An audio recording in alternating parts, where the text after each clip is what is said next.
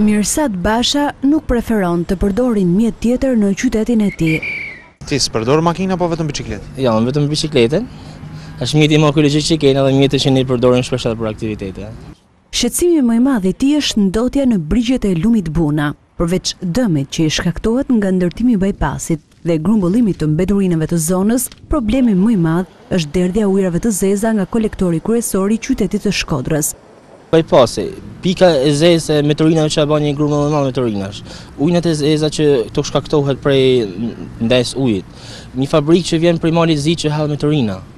Pjesa e derdhjes ujnave të zeza në pjesën e Bunës.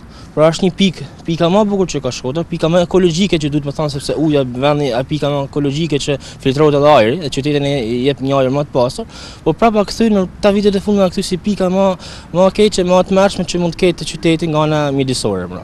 Këto janë vetëm një pjesë e atyre mbeturinave të cilat depozitohen në brigjet e lumejve të Shkodrës, siç është lumi Buna, apo edhe lumi Kir.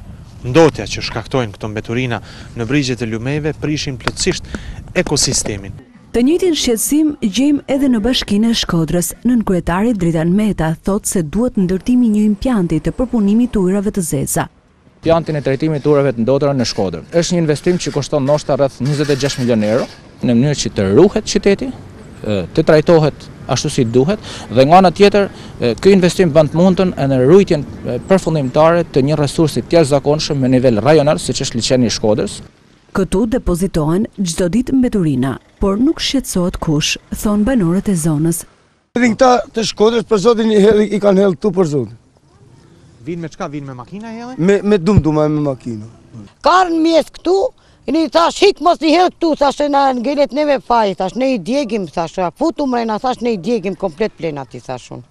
Në territorin e Shkodrës ka zona problematike të cilat nuk mbulohen nga operatori i pastrimit. Përpjekjet institucionale nuk kanë munguar. Ambientalistët thonë se Shkodra duhet të jetë në vend të parë sa i përket pastërtisë në vend dhe jo mbeturinat të depozitohen në shtretërit e lumejve.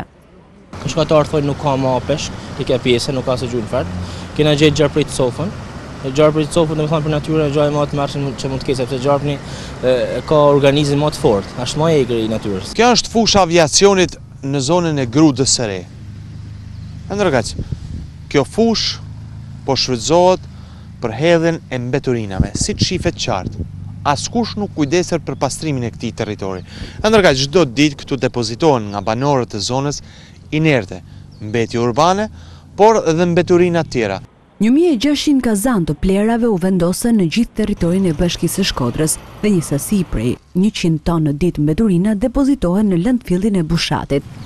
Por shtrati i lumit Kir, lumi Buna dhe ish fusha e aviacionit në Grudë të Re përbëjnë hartën e nxehtë të ndotjes në Shkodër.